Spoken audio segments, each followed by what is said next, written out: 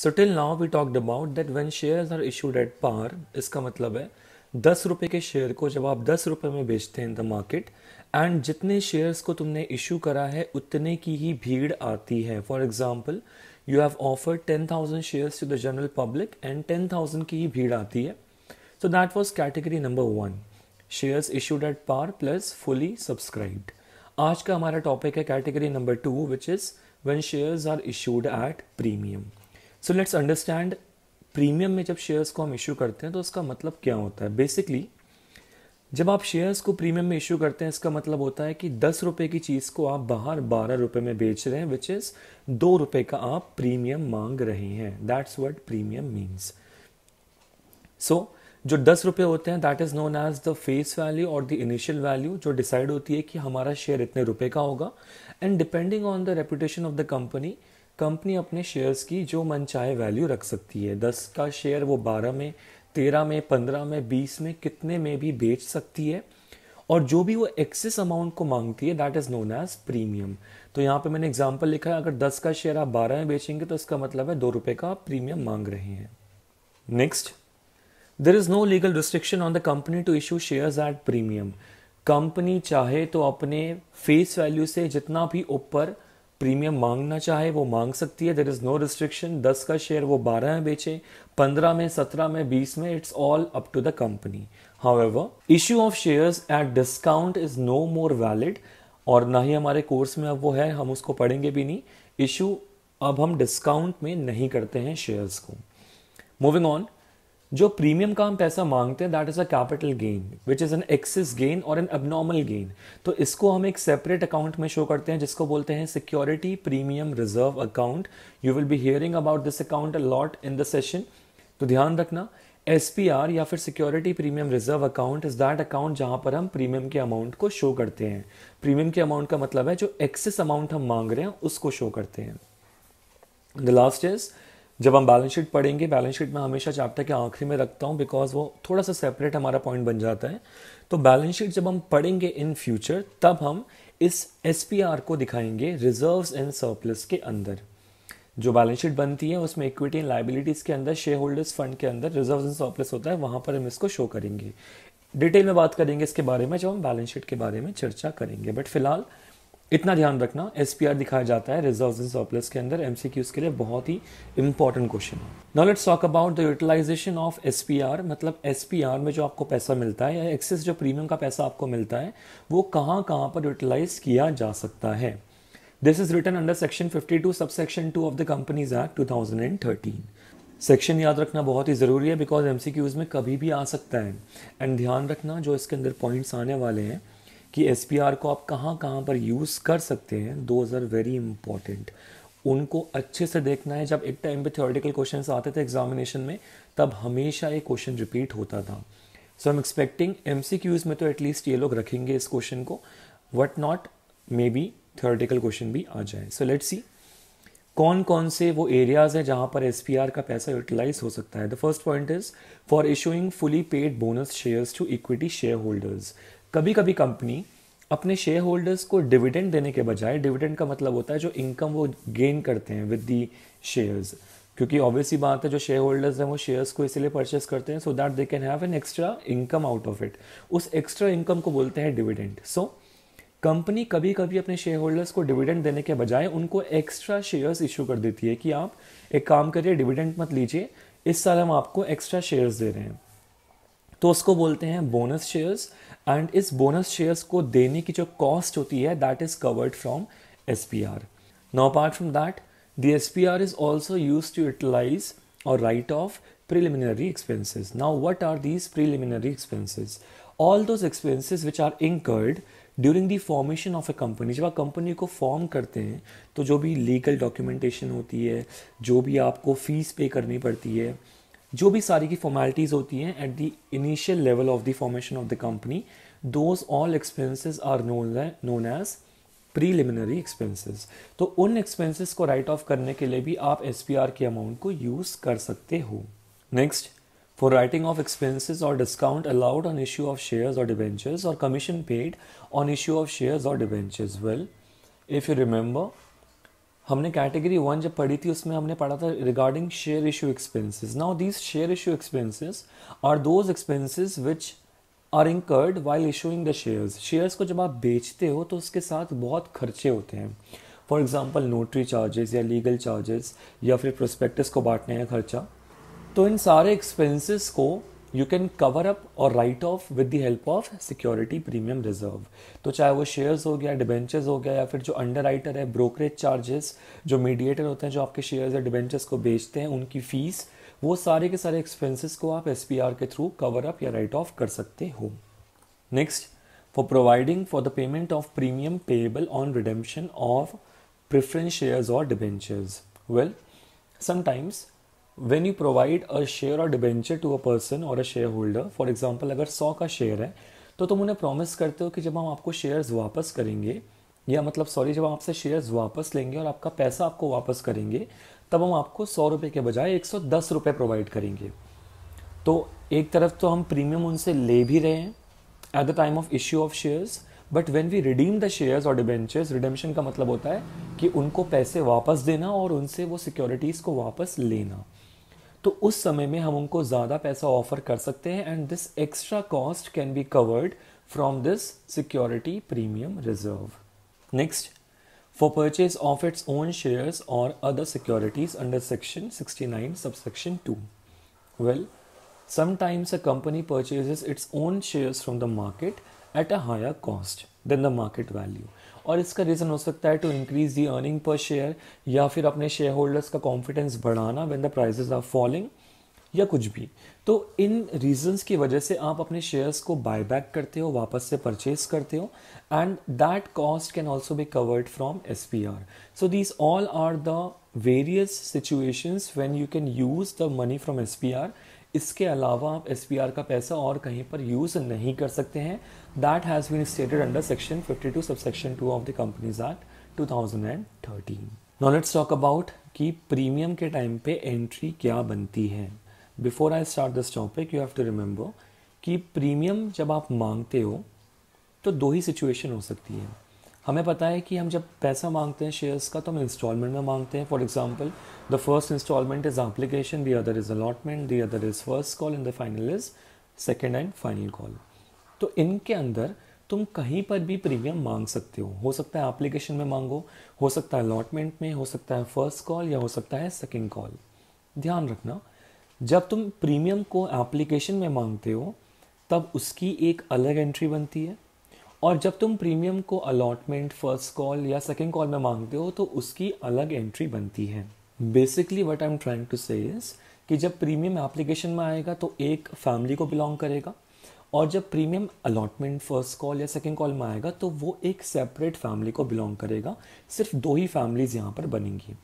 तो पहले मैं बात कर रहा हूँ केस नंबर वन की when premium is received on application अगर एप्लीकेशन के साथ ही तुमने लोगों से प्रीमियम भी मांगा तो एंट्री क्या बनेगी? पहली एंट्री तो हमारी वही बनेगी जो अभी तक का बनते आ रही थी which is bank account debit to share application account इसके अंदर अमाउंट क्या आएगी, उसके बारे में हम बाद में बात करेंगे when we will do the practical question but फ़िलहाल के लिए तुम्हारा टारगेट ये होना चाहिए that you understand the journal entry की एंट्री क्या बन रही है. तो एंट्री बनेगी यहाँ पे bank account debit to share application account when the premium is received on application you will notice one thing यहाँ पे कोई भी डिफरेंस नहीं आया है. पहले भी जो हम एंट्री पास करते थे, वही एंट्री हम इस बार भी पास करेंगे। हालाँकि अमाउंट में फ़र्क देखने को मिलेगा, वो हम बाद में डिस्कस करेंगे।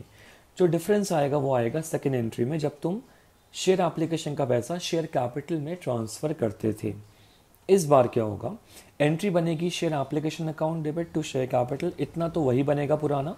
पर एक और आइटम तुम्हारा क्रेडिट होगा which is to security premium reserve so a new account will be credited with the name of to security premium reserve always remember never ever share capital के अंदर हम कभी भी प्रीमियम के अमाउंट को show नहीं कर सकते हैं. प्रीमियम के अमाउंट को हम अलग से शो करेंगे in the separate account which is known as security premium reserve so never ever show premium in share capital ये गोल्डन रूल हमेशा ध्यान रखना। And this will be use throughout the chapter ये थी हमारी फैमिली नंबर वन जब आप मांगते हैं premium at the time of application now let see what if the premium is received at the time of allotment first call और second call अगर application को छोड़ के तुम अलॉटमेंट फ़र्स्ट कॉल या सेकेंड कॉल में पैसा मांगते हो, तब एंट्री क्या बनेगी? तो यहाँ पे चेंज देखने को मिलेगा तुम्हें from the first entry itself if you remember पहली एंट्री बनती थी हमारी बैंक टू शेयर एप्लीकेशन दूसरी एंट्री बनती थी हमारी share application to share capital और ये थी एप्लीकेशन की एंट्री उसके बाद हम अलॉटमेंट मांगते थे अलॉटमेंट आती थी फ़र्स्ट कॉल मांगते थे फ़र्स्ट कॉल आती थी एंड देन सेकेंड कॉल मांगते थे सेकेंड कॉल आती थी. तो यहाँ पर मांगने वाली एंट्री से ही चेंजेस देखने को दिख जाएँगे. मांगने वाली एंट्री मतलब जब आप पैसा ड्यू करते हैं. तो पहली एंट्री यहाँ पे मैंने पास कर रखी है. वन अलॉटमेंट फ़र्स्ट कॉल और second call money is due और कॉल्ड अलॉन्ग विद प्रीमियम जब आप अलॉटमेंट फ़र्स्ट कॉल या सेकेंड कॉल मांगेंगे, और क्वेश्चन अगर तुम्हें बता रहा है साफ़ साफ़ कि हाँ भाई, इनमें से किसी एक कॉल के अंदर प्रीमियम है तो एंट्री क्या बनेगी, देखो। शेयर अलॉटमेंट अकाउंट डेबिट करोगे। अगर फ़र्स्ट कॉल में है तो share first call account debit करोगे। और अगर सेकंड कॉल में है तो share second call account debit करोगे। ये तो पुरानी बातें हैं। टू शेयर कैपिटल भी तुम लिखते थे इससे पहले, वो भी तुम लिखोगे। पर साथ ही जब तुम एसपीआर को मांगोगे तो तुम ऑलरेडी अपने एस अकाउंट इंक्रीज कर दोगे on the basis of accrual basis तो वो मैं बता चुका हूँ ऑलरेडी कि हम एक्यूरल बेसिस को फॉलो करते हैं, इसलिए हम पहले ही उस अकाउंट को इंक्रीज कर देते हैं। तो हम अकाउंट को इंक्रीज करेंगे यहाँ पे to security premium reserve account और प्रीमियम के अमाउंट यहाँ पर शो कर देंगे। उसके बाद जब पैसा मिलेगा, चाहे वो अलॉटमेंट का हो फ़र्स्ट कॉल का हो या सेकेंड कॉल का हो तो एंट्री वही बनेगी जो पहले बनती थी which is bank account debit to share allotment या फिर टू शेयर फ़र्स्ट कॉल या फिर टू शेयर सेकेंड कॉल अब ये बात थोड़ी और अच्छे से समझ में आएगी जब हम प्रैक्टिकल क्वेश्चन को करेंगे बट फ़िलहाल मेरा टारगेट सिर्फ़ इतना है कि तुम्हें ये समझ में आ जाए कि जर्नल एंट्रीज क्या बनती है, जब प्रीमियम हमें रिसीव होता है at the time of application और at the time of allotment first call और सेकेंड कॉल तो एक बार हम दोनों एंट्रीज को आपस में रख के देखते हैं कि क्या डिफरेंस एक्चुअली में क्रिएट होता है।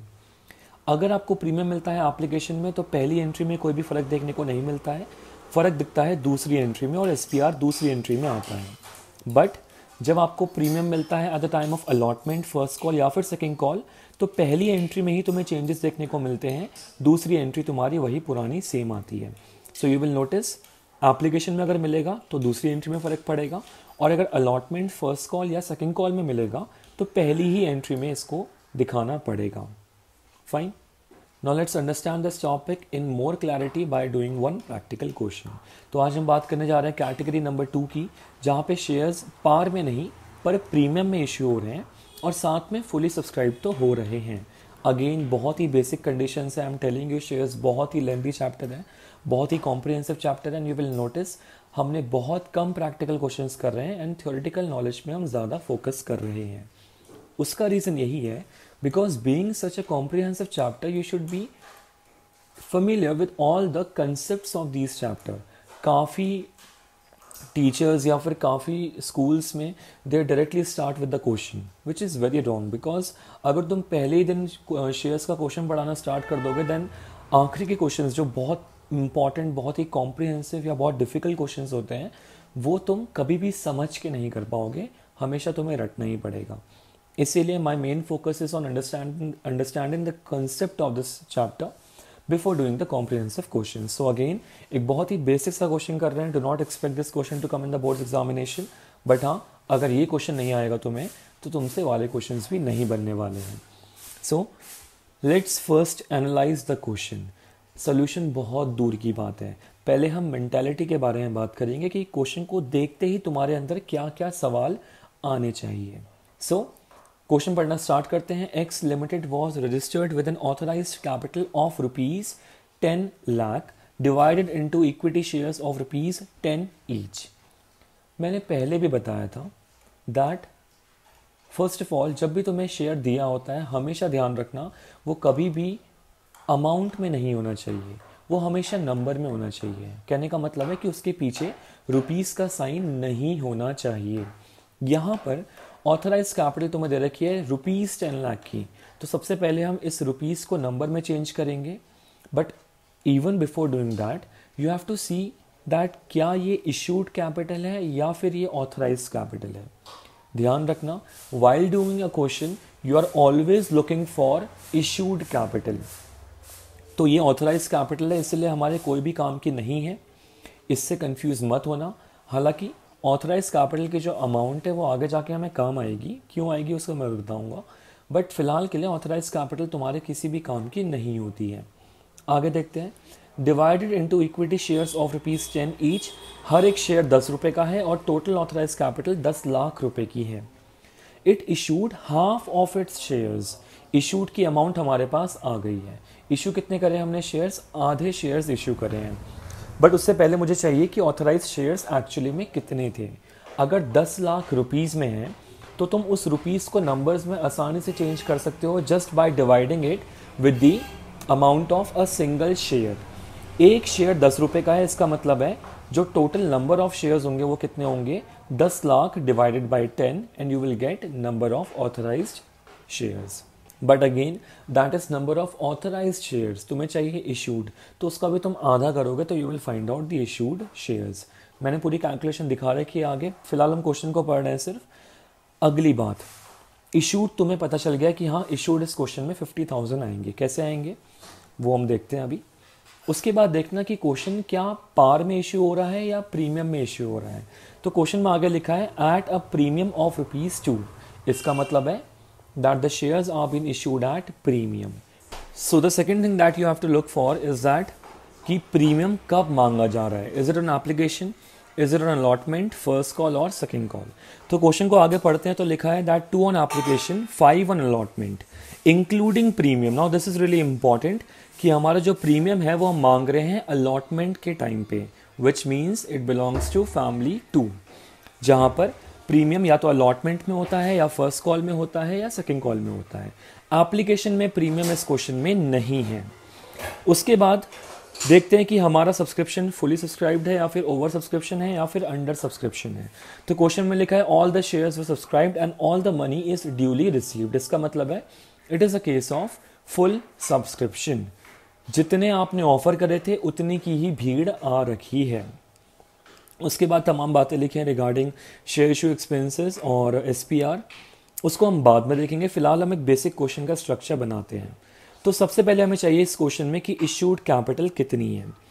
सी ऑथराइज कैपिटल है रुपीज़ टेन लाख में।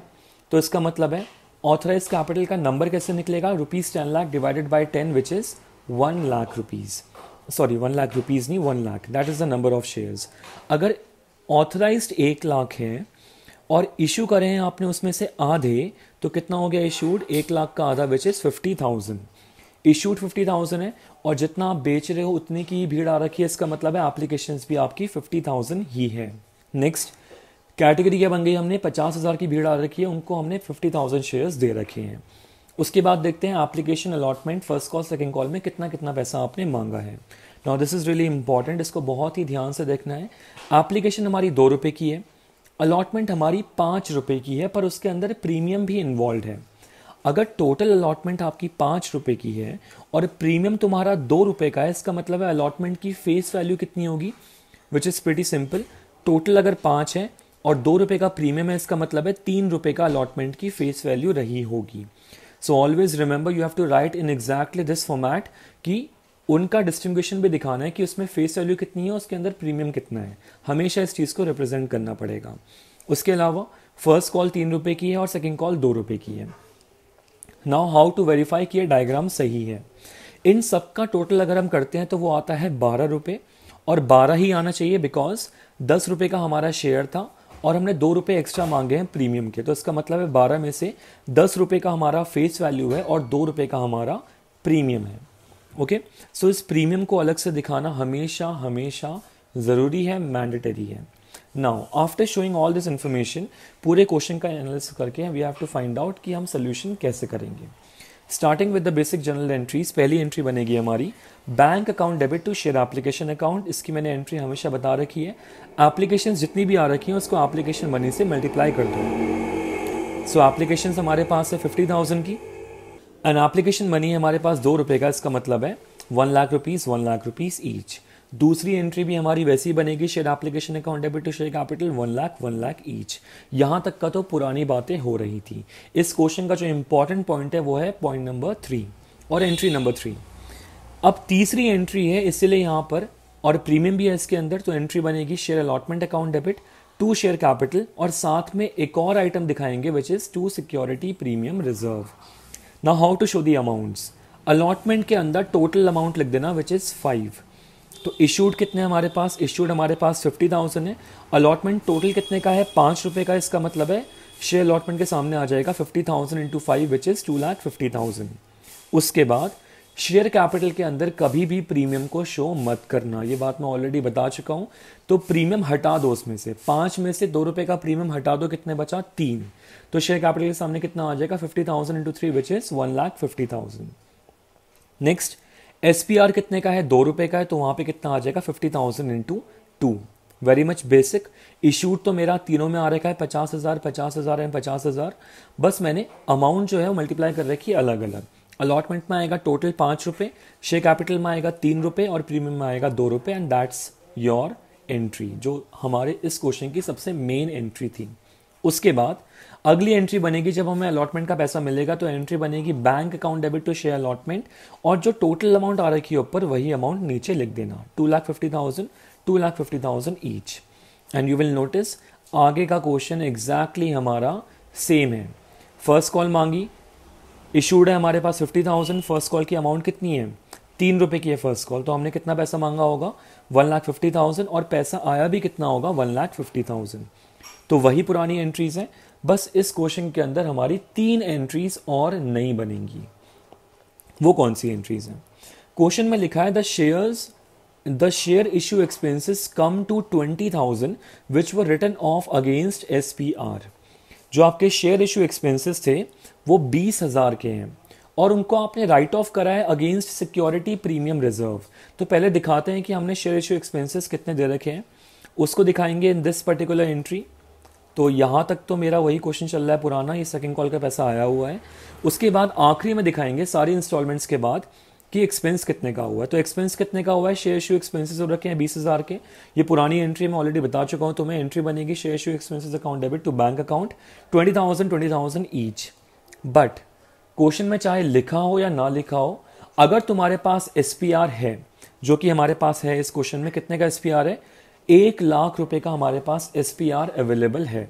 तो अगर तुम्हारे पास एसपीआर होगा तो राइट ऑफ़ करने की एंट्री भी हम पास करेंगे उसी के नीचे। तो हमने एंट्री पास कर रखी है security premium reserve account debit to share issue expenses ये हमने उसको राइट ऑफ़ कर दिया है। जो हमने अपने एक्सपेंसेस को दिखा रखा था ट्वेंटी थाउज़ेंड का, उसको अब मैंने बंद कर दिया है और मैंने अपने एसपीआर से बीस हज़ार रुपए निकाले हैं। ओके तो एसपीआर के सामने हमेशा वही अमाउंट लिखना जो शेयर इशू एक्सपेंसेस के सामने है। अब इन केस तुम्हारे दिमाग में क्वेश्चन आ रहे हैं कि सर वट इफ़ एक्सपेंसेस ज़्यादा हो एसपीआर कम हो तो वो सारी बातें हम देखेंगे with the coming questions but इतना ध्यान रखना, जितना हमारे पास एसपीआर है, उतनी ही हमारी लिमिट है to pay of the expenses अगर उससे ज़्यादा एक्सपेंसेस आएँगे तो हम ज़्यादा एसपीआर से अमाउंट नहीं निकाल सकते हैं। हालाँकि शायद ये बात अभी समझ में ना आए बिकॉज़ कोई प्रैक्टिकल एग्ज़ाम्पल है नहीं मेरे पास। बट जितना ऊपर एक्सपेंसेस है, उतना ही नीचे लिख देंगे अगर हमारे पास एस इन अबंडेंस है तो। और ये हमने एक्सपेंसेस को राइट ऑफ़ क्यों करा? ये बात ऑलरेडी हो चुकी है। In slide twenty seven of this video जहाँ पे हमने बात करी थी रिगार्डिंग यूटिलाइजेशन ऑफ़ एस उसके पॉइंट नंबर थ्री में ये बात मैंने साफ़ साफ़ लिखी है। तो अगर याद नहीं आ रही है तो go back to the video and see the particular point तो ये तो था हमारा एसपीआर और सिक्योरिटी सॉरी एसपीआर और शेयर इशू एक्सपेंसेस के साथ का रिलेशन उसके बाद क्वेश्चन में एक और एडिशनल पॉइंट लिखा है which is 2000 shares were issued to promoters at par for the services rendered. Now, if you remember, ये बात ऑलरेडी हो चुकी है कि अगर आप अपने शेयर्स को अपने प्रमोटर्स को प्रोवाइड करते हैं तो एंट्री बनती है goodwill account debit to share capital वही एंट्री हम पास करेंगे पर अमाउंट कितनी आएगी? 2000 शेयर्स आपने दिए उनको। 2000 शेयर्स दिए हैं और हर एक शेयर कितने रुपए का है? दस रुपए का है। दस लिखेंगे, बारह मत लिखना बिकॉज़ यहाँ पे लिखा है एट पार इसका मतलब है हमने उनको दस रुपए में ही बेचा है। तो एंट्री बनेगी हमारी goodwill account debit to share capital two thousand 2000 into 10 2000 into 10 which is आ गया 20000 20000 each. And that was the question. Now, if you have any queries regarding this one तो व्हाट्सएप में पूछो आई एम सीइंग कोई भी homework नहीं भेज रहा एक्सेप्ट टू पीपल तो होमवर्क भेजो प्रैक्टिस करो and because of my condition right now I can not give you the live sessions for some coming days but I am trying my best कि तुम्हें मैं through the video sessions इसे explain कर सकूँ।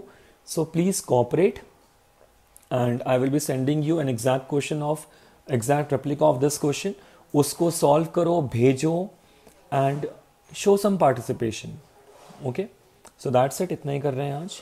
Thank you